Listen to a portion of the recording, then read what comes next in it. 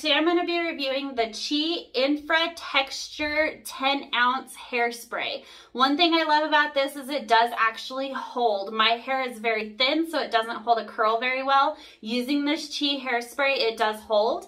Another thing is it has a very good scent to it. A lot of hairsprays I've noticed don't have that very good smell. This one has a really good smell. It is the aerosol can, like I said, 10 ounce. You have the nice little spray nozzle here.